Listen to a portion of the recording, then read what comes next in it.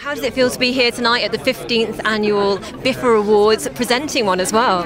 Very exciting, yeah. Um, I think it's going to be a really fun evening. It's often, uh, I've been before, and people are in a very Christmassy mood, so, so there's lots of celebration. And what have you enjoyed particularly this year in your own career? Um, well, I just uh, finished a film with Ralph Fiennes called The Invisible Woman which was an extraordinary experience, um, and Kristin Scott Thomas, and just to be with those two people who I've grown up watching and admiring and trying to uh, learn as much as possible from them. What can you look forward to next from you? So uh, I'm going to Sundance in January. I have a film called Breathe In, um, which we're showing for the first time uh, out in Sundance. Can you give us a little bit of insight into that film? Um, well, it's about a relationship between uh, a younger woman who comes to live with an American family and about her how her presence changes the dynamic of that family. It's with Guy Pearce and Amy Ryan, who are both incredible. Um, yeah, so quite a, a, a, sort of darker story than than others that I've made before. And going forward, what would you like to be working on next?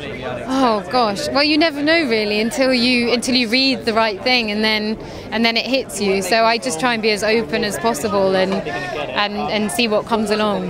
And is it important for you to work in the British film industry and in independent film as well? Yeah, definitely, absolutely. I mean, eh, without independent film, I mean, if you look in the past, you wouldn't have got all the great films that we've seen. It's it's absolutely vital that it's supported because you can tell more unusual stories. You can take risks in a way that sometimes you can't with higher budget pictures.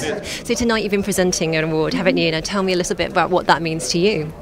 Um, well, it's I, it's so good anyway. I was saying earlier because I think independent film is in the process of a, a very exciting time, but but quite a difficult time. Um, obviously, so it's nice that everyone can get together and celebrate, or attempt to celebrate the amazing stories and amazing acting that, that we've seen in the last few months. And I've just been so enthralled by Broken and Sightseers and, and seeing unusual stories told in, a, in an exciting way. What are the films that you've seen this year that have meant a lot to you in terms of independent movies? Um, well, those two. I mean, I was just. Uh, Sightseers, I don't know if you've seen it, but it just totally was just blew my mind. I mean, he is a phenomenal filmmaker, and I was just so excited to see, something that's completely breaking genre, or you know, it's not a costume drama, it's not a social drama, it's it's expanding both of those kind of limitations. And in terms of indie filmmakers and actors who are out there, who would you love to work with next? Um, well, I'd love to. Well, I've been watching a lot of uh, Sofia Coppola recently. I'm a huge fan of her films, and I'm looking forward to her new film that's coming out next year.